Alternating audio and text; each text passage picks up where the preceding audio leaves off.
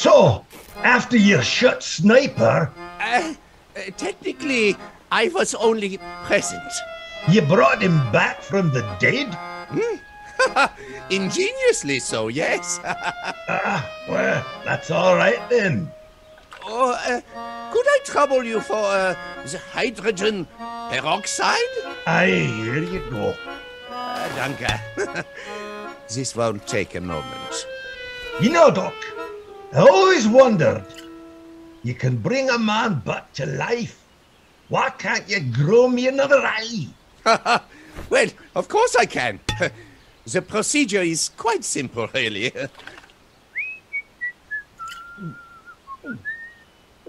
What?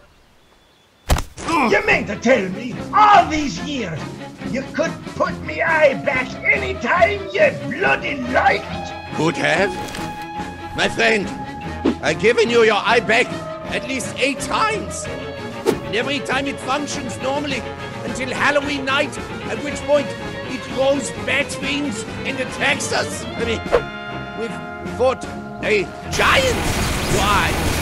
A tarantula, your eye. A brain in a jar, your eye. A knife-wielding ventriloquist dummy, your eye.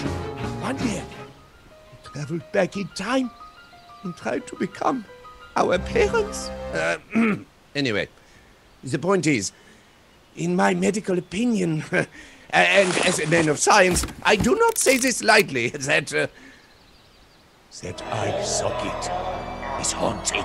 Wait, why don't I remember any of this? Oh, that, uh, I scooped that part of your brain out so you'd stop asking me. Aye, fair enough. Hold on, I did just ask you. Ah, I know. Sadly, brain scooping is not an exact science. My advice would be to try not to remember things. Don't remember things. God, That's the spirit. Oh, oh. Also, your leg is fixed. I even gave it its own little brain.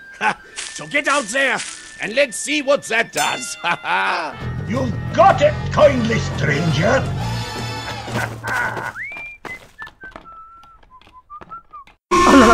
A bomb has entered the area. Uh-oh.